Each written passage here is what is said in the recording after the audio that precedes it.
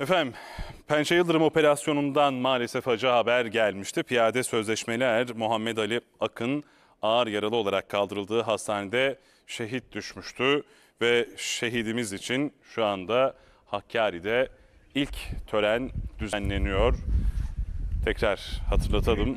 Pençe Yıldırım Harekatı kapsamında Irak'ın kuzeyinde teröristlerin saldırısında yaralanan ve kaldırıldığı hastanede şehit düşen Piyade Sözleşmeli Er Muhammed Ali Akın, Hakkari Dağ ve Komando Tugay Komutanlığı'nda düzenlenen törenle memleketi Konya'ya uğurlanıyor.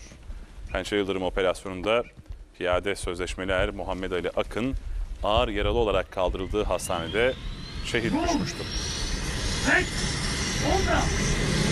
Irak'ın kuzeyinde Kalyani Dağı üst bölgesinde teröristler tarafından düzenlenen saldırıda ağır yaralanmıştı. 23 yaşındaki şehit sözleşmeli er Muhammed Ali Akın maalesef kaldırıldığı hastanede yapılan tüm müdahaleye rağmen kurtarılamayarak şehit olmuştu.